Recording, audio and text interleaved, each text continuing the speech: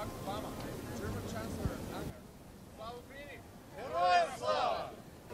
Чешская политика, как э, член Европейского Союза, она, она поддерживает общую политику Европейского Союза отношения конфликта между Россией и Украиной.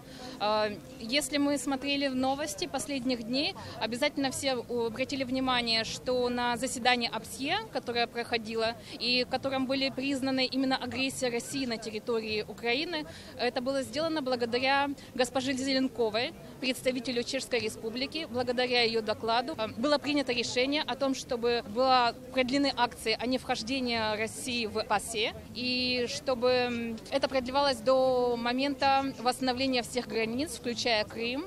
Это принес вклад э, чешский политик, госпожа Зеленкова, что очень важно. Також повернути назад в Росію всю зброю та воєнну техніку. Посилити